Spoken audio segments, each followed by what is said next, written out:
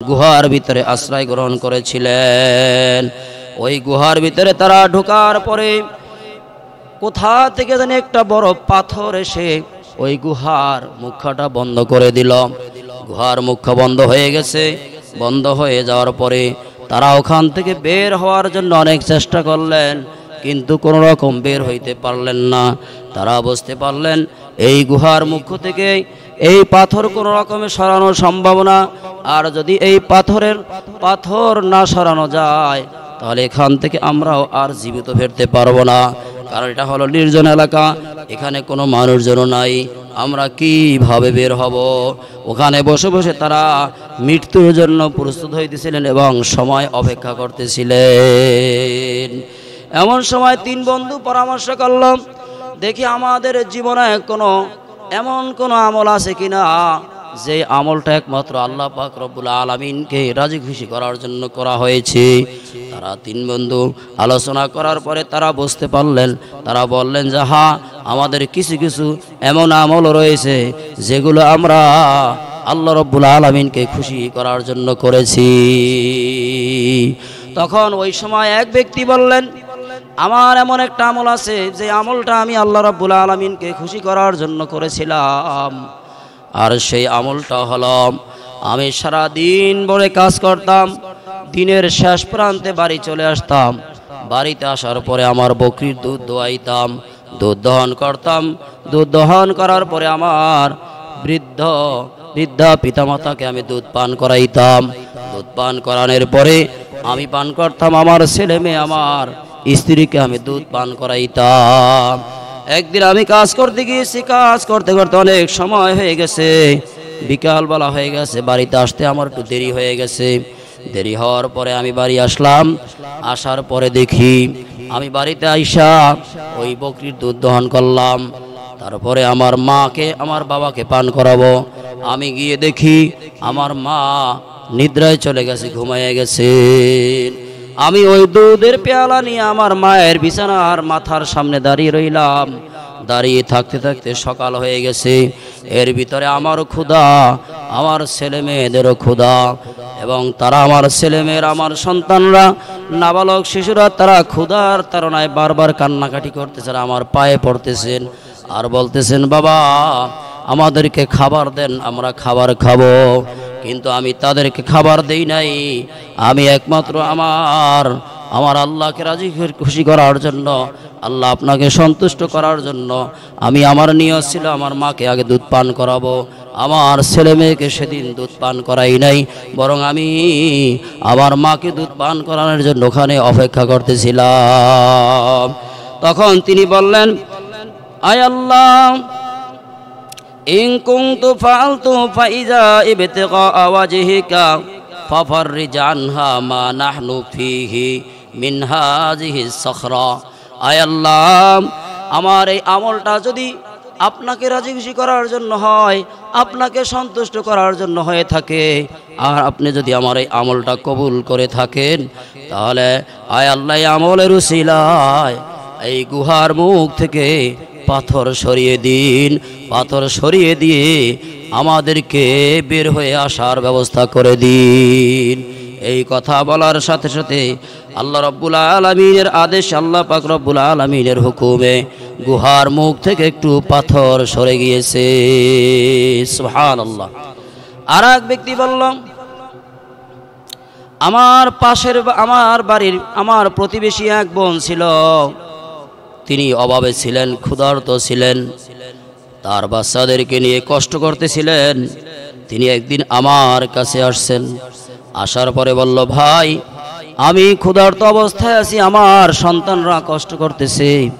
আমাকে কিছু কিছু টাকা পয়সা দিয়ে উপকার করা যায় কিনা আমি টাকা পয়সা দিতে রাজি হইলাম, তবে তাকে আমি বললাম, তুমি যদি আমার মনের চাহিদা পূরণ করতে পারো আমার মনের খায়েশ পূরণ করতে পারো। আর তাহলে আমি তোমাকে আমার পক্ষ থেকে তুমি যা চাও আমি তাই দিয়ে দেব। অর্থাৎ আমি তাকে কুপ্রস্তাব দিলাম। ওই মহিলা তিনি অসহায় হইয়া, নিরুপায় হইয়া তার ওখানে কোনো রকম কোনো ব্যবস্থা ছিল না আর টাকাও তার দরকার। অভাব থেকে বাঁচার জন্য, সন্তানদেরকে কিছু খাওয়ানোর জন্য মহিলা রাজি হয়ে গেল। মহিলা রাজি হওয়ার পরে ওই ব্যক্তি যখন তাকে স্পর্শ করল, তার কাছে গেল। যাওয়ার পরে মহিলা থর থর করে কাঁপতেছিল আর বলতেছিল যে, আজকে আমি অর্থের বিনিময় অভাবের অভাবের তাড়নায় আমার সতীত্বকে তুমি নষ্ট করতেছ। অভাবের কারণে তুমি আমার, অভাবের সুযোগ নিয়ে তুমি আমার আমার সত, সতীত্ব নষ্ট করতেছ।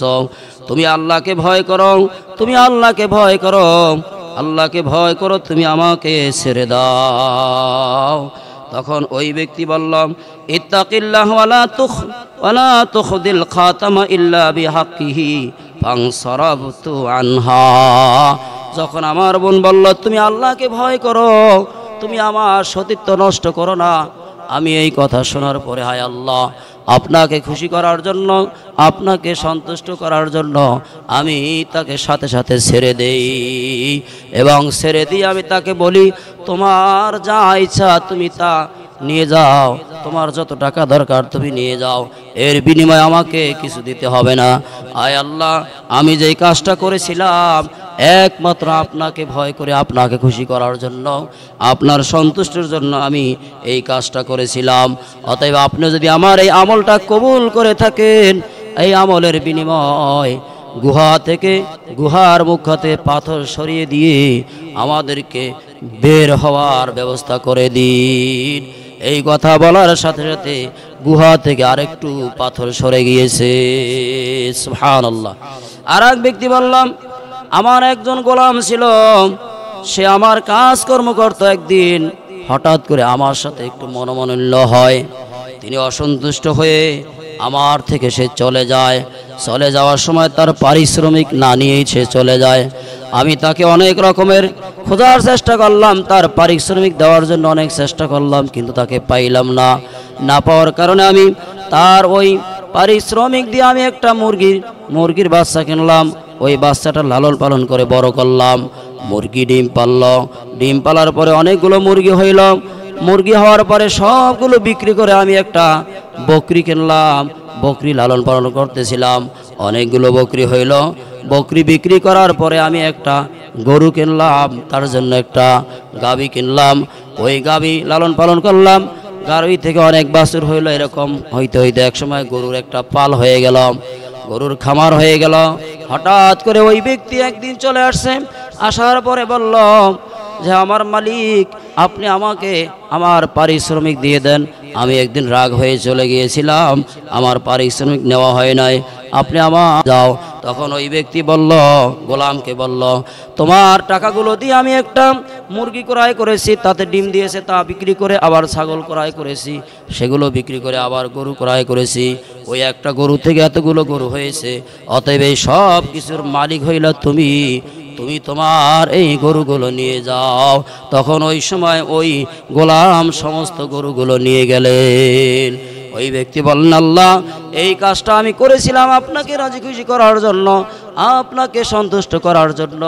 আর আপনি যদি আমার এই আমলটা কবুল করে থাকেন, তাহলে আপনি এর বিনিময় গুহার মুখ থেকে পাথর সরিয়ে দিয়ে আপনি আমাদেরকে বের হওয়ার ব্যবস্থা করে দিন। এই কথা বলার সাথে সাথে আল্লাহ রব্বুল আলমিনের হুকুমে ওই গুহার মুখ থেকে পাথর সরে গিয়েছে। সুহার আল্লাহ তখন তারা ওই গুহার মুখ গুহার ভিতর থেকে তারা সবাই বের হয়ে আসছেন এবং তারা মুক্ত পেয়ে গেলেন, মুক্তি পেয়ে গেলেন। ততএব এইভাবেই সমস্ত কাজ কর্মগুলো আমাদের করতে হবে। একমাত্র আল্লাহ পাক রব্বুল আলমিনকে খুশি করার জন্য, দুনিয়ার কোনো মানুষকে খুশি করার জন্য করা যাবে না। একলাসের সাথে যদি আমরা করতে পারি এই জন্য আল্লাহ রসুল আসলাম বলেছেন, আখলিস দিন আমালুল কলিল। অল্প আমলি তোমার দিনকে খাঁটি করো। অল্প আমলি তোমার নাজাদের জন্য যথেষ্ট হবে।